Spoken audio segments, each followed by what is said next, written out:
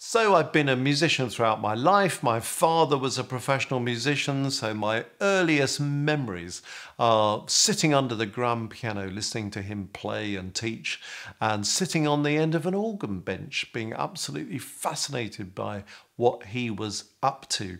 So I studied music from a very early age, had fantastic opportunities to go to St Paul's Cathedral and Canterbury Cathedral as an organ scholar, to study at Oxford University, and then to enter the world of professional music making, and which I've done ever since. So uh, performing, conducting, composing, arranging, working for BBC religious broadcasting, one to one teaching, a whole variety of things as an organist and as a pianist.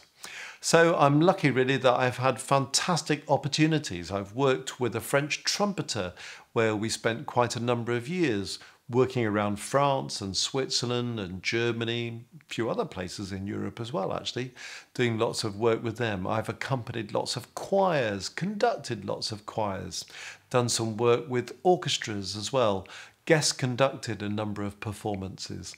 So it's been a really rich musical experience for me, for which I'm very grateful indeed.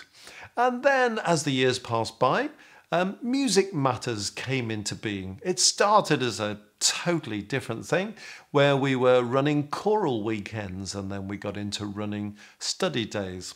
And then later it entered a completely kind of new phase, and that's where I went into partnership with Alex, uh, who's the great tech whiz of this operation, and uh, we started to make video courses.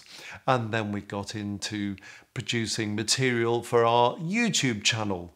And then we got into Maestros, which includes these monthly live streams, for example, that we run. And that's also, for me, been a fantastic extension of the teaching that I've always done. It's a great opportunity to use YouTube and the online platform uh, to provide music education in response to things that people are asking for. So, in a nutshell, that's sort of been the last 40 or 50 years of my musical life.